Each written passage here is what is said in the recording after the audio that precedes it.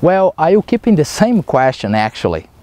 And if the, the question is, yes, we had a good production this year, well, we need to acknowledge that each year is different from each other.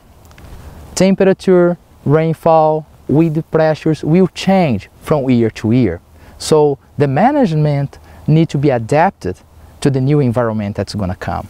Sometimes the same management is not going to work in a different environment. Let's say that next year is going to be a dry year. No rainfall, fertilizers, nutrients will not be taken up by the plants. In this case, we may not apply fertilizer until we see rain in the forecast. Herbicides. Well, when we talk about weed control, it might be more difficult in a drought because weeds can thrive better than introduced fodders in a drought condition. And also herbicides will not work pretty well in that circumstances.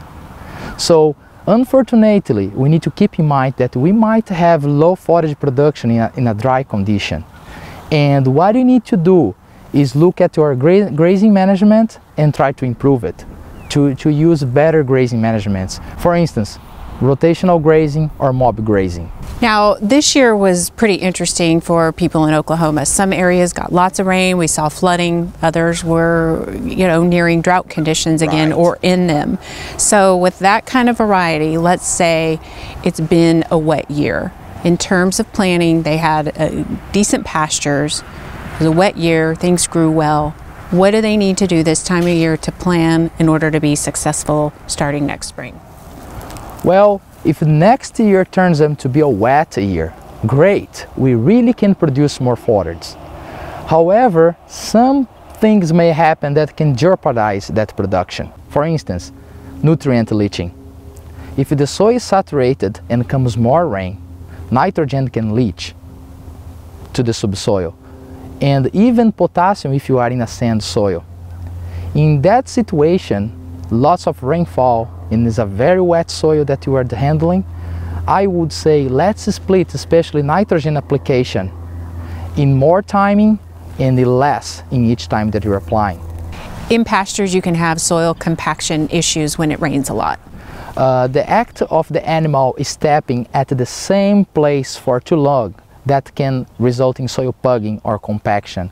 And that may happen most of the time around the water and the supplement sources.